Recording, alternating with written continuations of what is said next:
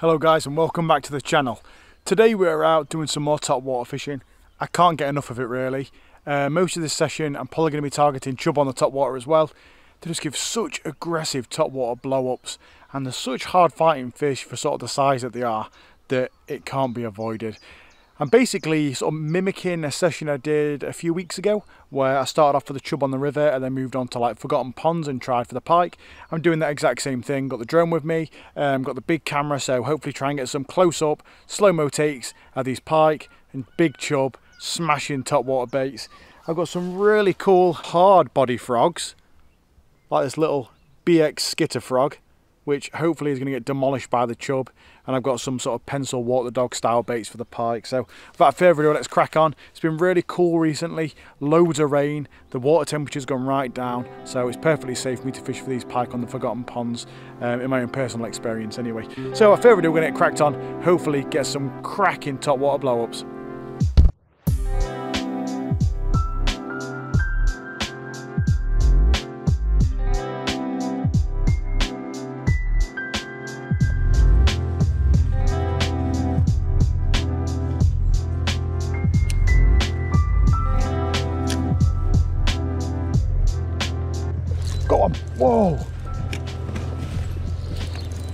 With a BX skitter frog in this swim. The chub absolutely crushed it. First cast to these fish. I've debarbed this, so there's a chance it might come off. That's okay with me. I like to try and be as safe as I can with a chub nowadays.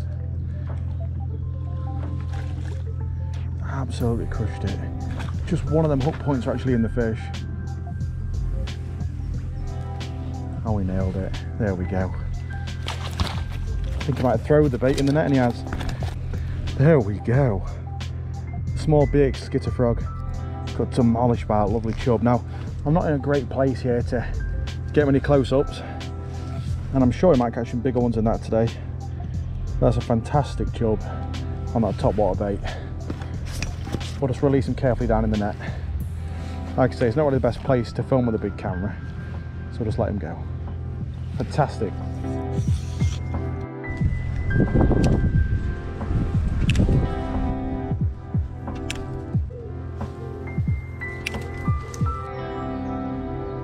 The pike. Oh, how cool was that? Guardian get gulf the entire thing. Oh, there's a bait that's come out. Thankfully still hooked though. That was so freaking cool that he just come off, but barbless hooks, obviously we debarbed it. And I'm very, very glad that I put a light wire trace on this. It's only 10 pound wire.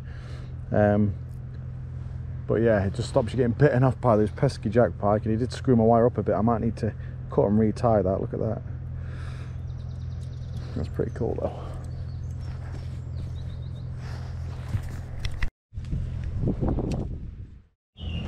See a couple of chub down there.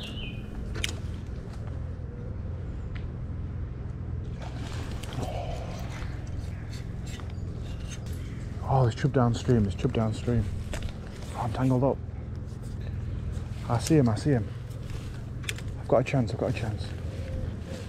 Oh no, they've all spooked. Let it drift downstream. Good old technique with floating baits, isn't it? You can just let them go and go and go and float and float and float. There's one chasing. There's one chasing. Oh yeah, he's really chasing it. Come on. Oh, he missed it. Damn it.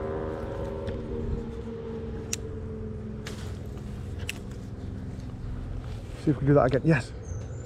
Oh, the dude really blowing it up. Man, they're absolutely crushing it. But I just don't think they're getting their mouths around it completely.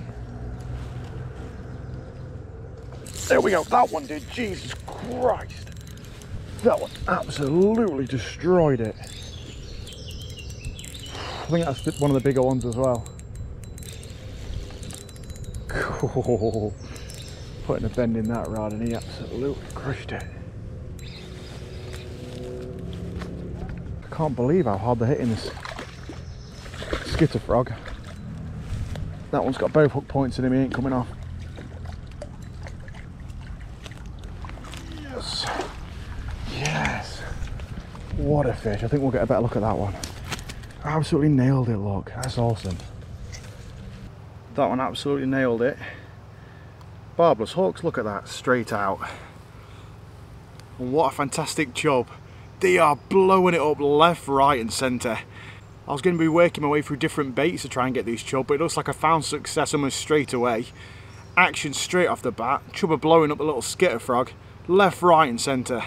So frigging cool, and I think is a lot better having barbless hooks on there. Sure, you might lose one or two, but you get a better hookup rate, I think, and much easier to unhook and release. So let's get this one back.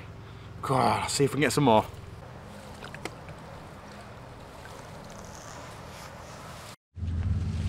I'm just chasing these chub shoals and I found another one just at the back of this tree. I think they might be spooked, but we'll find out.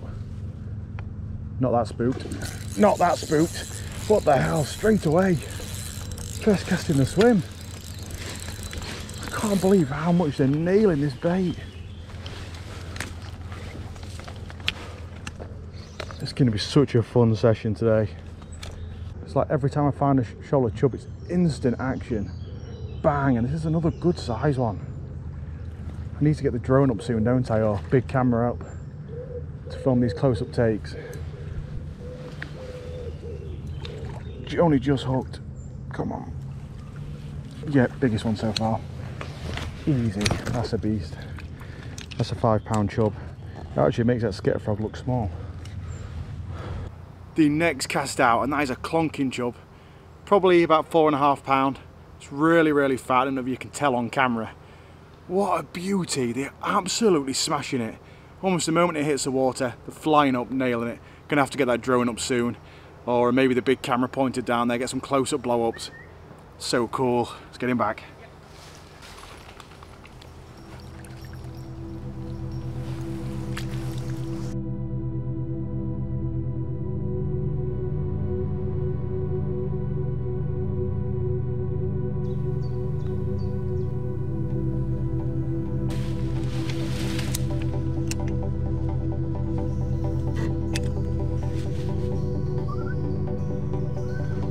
Oh, there we go.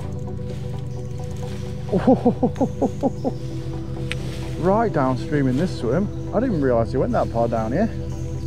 Another fantastic chub on the same bait. I bought a few different top water baits for me today, but I just, when you find something that works, you know, you of stick to it, don't you?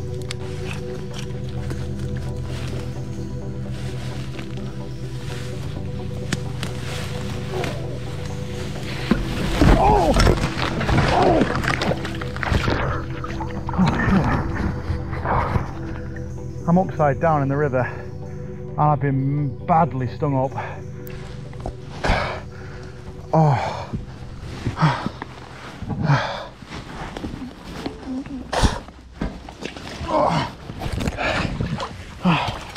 Ow. That was a bad fall. Well, I didn't break my rod. Oh, I'm bleeding. Let's land this chub. Oh, I've been stung up by nettles all over my face, my arms, my neck. I'm going to unhook this fish in the water and let him go. So I need to deal with myself. Beautiful chub though. Probably fish about three pound.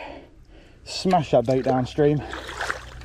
And God, that's the uh, the worst fall I've had trying to land a fish anyway. God, I am in quite a bit of pain right now. So guys, that's where I've just fallen down. God, I must be fat.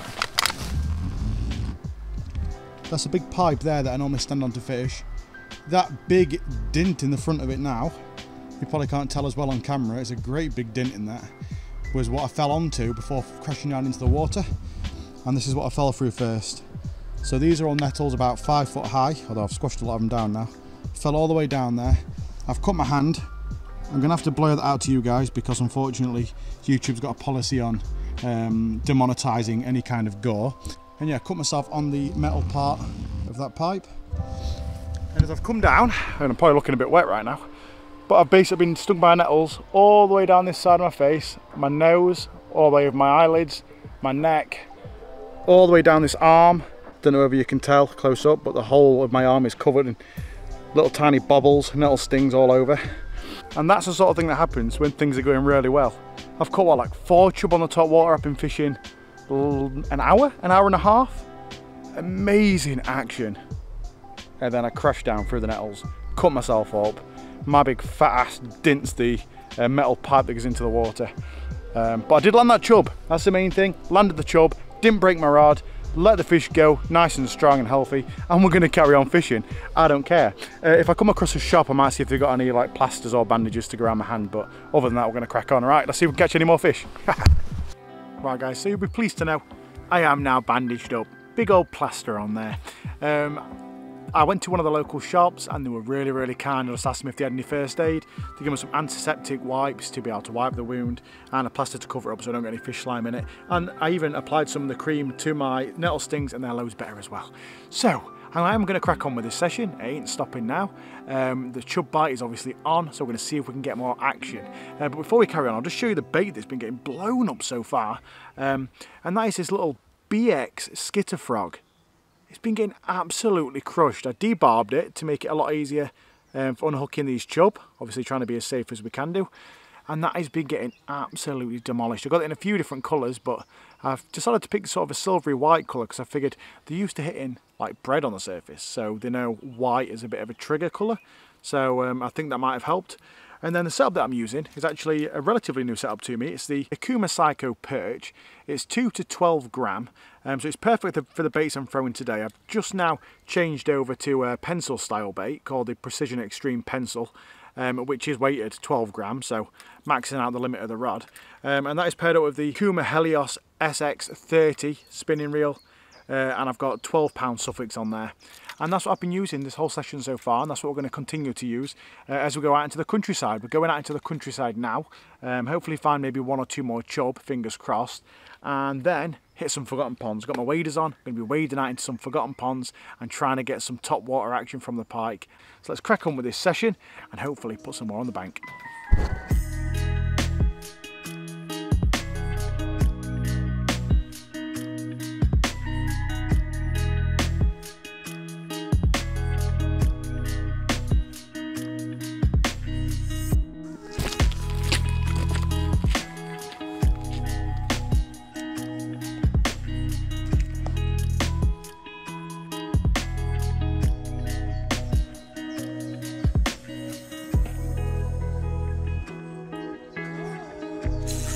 Yes.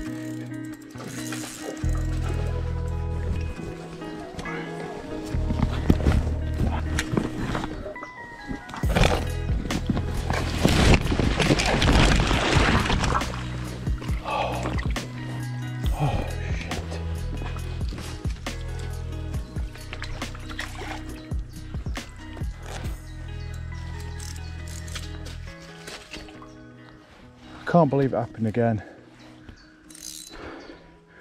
How did I fall in a second time? And worst of all, I've lost my glasses. My best ever fishing glasses. Oh. Well, at least we caught the fish. Jesus Christ.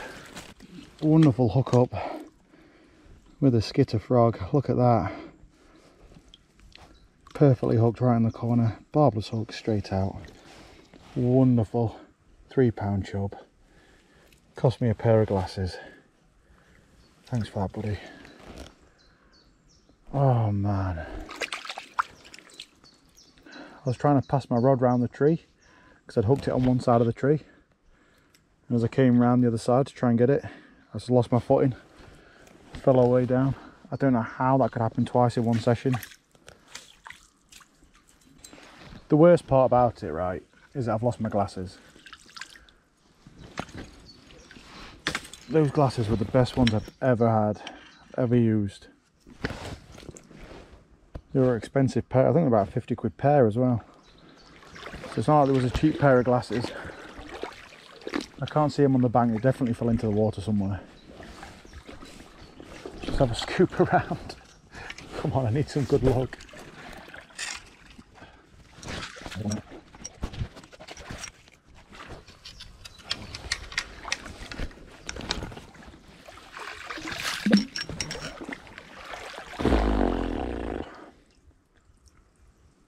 My God.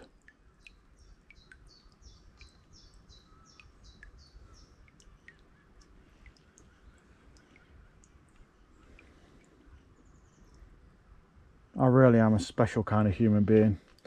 Jesus Christ. How can this be an amazing session and a horrendous one at exactly the same time?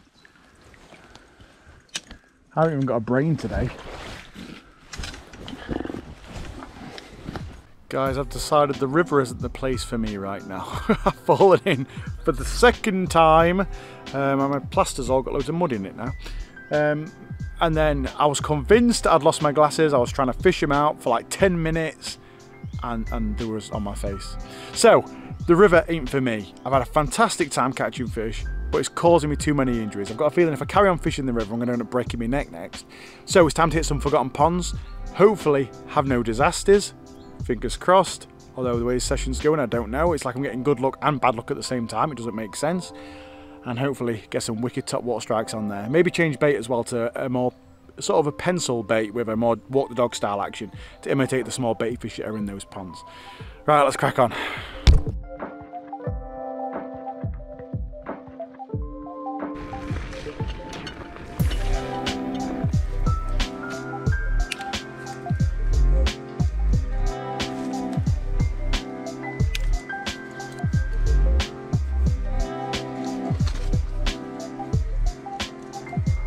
Got blow up out there. Didn't get the hook so. Let's try again. And again, missed it. Got it, got it that time. Yep. Not a big fish. Just a wee little jack pike. Oh! Don't want to be stuck in the tree while I'm trying to get my net sorted out, buddy. Oh no, he might come off. Oh, there's another pike attacking it. That's why it went shooting up into the tree. Oh, he's come off. I think. He has, he's come off and he's left me law snagged in the tree. God damn it, that's what I get for fanning around trying to get cool shots. Damn it. And unfortunately the fish has come off. And now the heavens have opened, that's just great. great timing. Just got my waders on, get my law back. Time to resume fishing. Uh, good job debarb these hooks, makes things a whole lot easier. Well, it's time to cross the stinky moat. I did spook something before I got down to this bank in here. Um, there was something down in these reeds. But this is the whole reason I've actually brought chest waders with me. Oh, there's loads of tiny fry. I wonder what they are. Maybe a little roach or something. That's pretty cool. It's nice to see. It's flourishing on neglect. Ah, it's nice bringing waders and not having to um, get completely soaked wet through. Let's try this spot. This really is the almost the sole reason why I'm wearing waders today. So I can get some cool top water shots in these little ponds.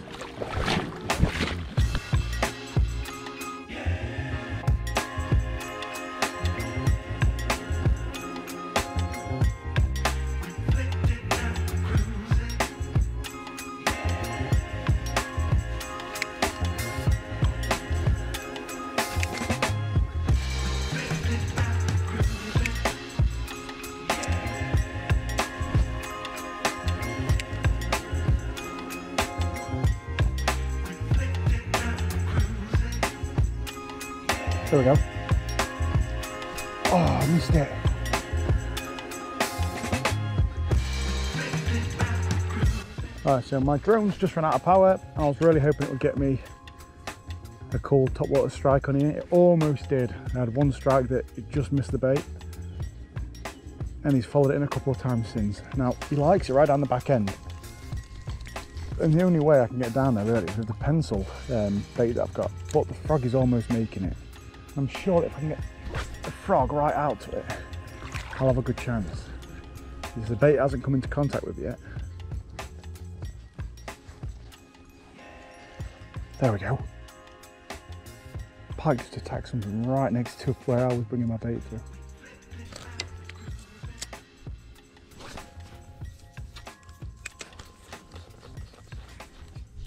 Whoa, what a hit. Whoa, cool was that? That was so freaking cool. You really want the frog.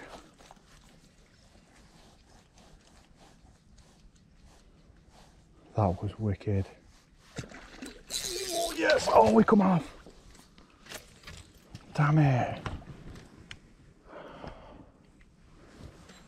Shit. That was so close. I mean, He took the bait twice now. Why do you want the frog so bad?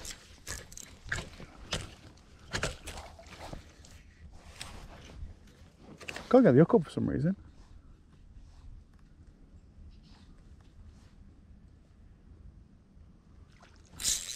Got it that time. God, he really wanted the frog. Oh, I can't seem to keep this fish on. It's definitely not coming back for that, but hopefully I've got some really cool shots of that thing smashing into the bait.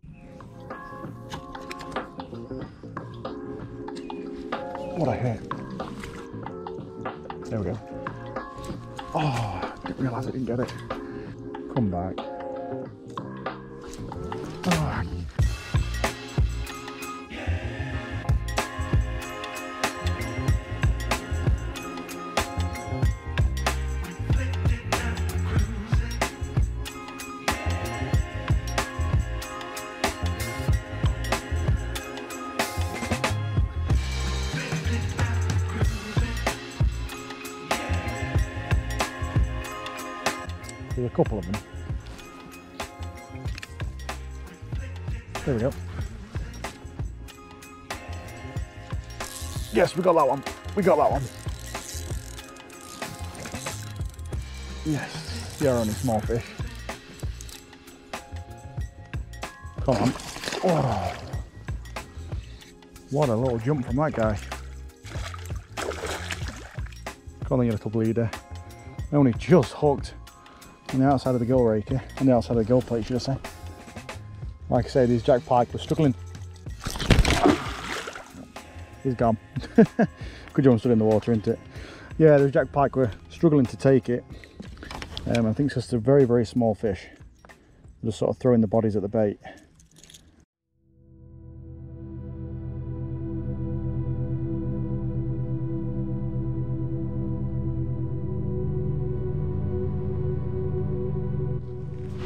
Walk the dog style.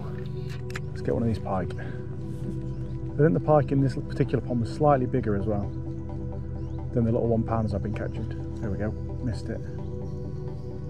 Famous lad's words. Come on. Yes, there we go. Straight away, what's that, like second cast out after coming back?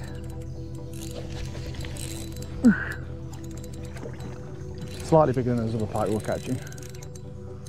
Probably just hand line it. I'm stood in the water anyway, might as well. Don't jump. I got you, buddy. I... Absolutely crushed the Precision Xtreme pencil. Lovely Jack Pike. Perfect hook hole right in the scissor. He did have one hook on top of his head, but it came out when I was landing him. I've debarbed these to make life a lot easier. There we go. Beautiful little pike, slightly bigger than the ones in the other pond. Let's get this one back. See you later, buddy. Thanks for the scrap. The water is really, really cold. Like surprisingly cold for this time of year. I think all the rain we've had recently has really dropped the temperature of these ponds. Well guys, it looks like it's about to rain for like the third or fourth time this session. So I think it's about time to wrap it up. Um, I've just left those like forgotten ponds um, now and I had loads of action there, maybe like five or six takes. Landed, I think, maybe three pike, but they was only really quite small. But such good fun, and those chub I had earlier, fantastic.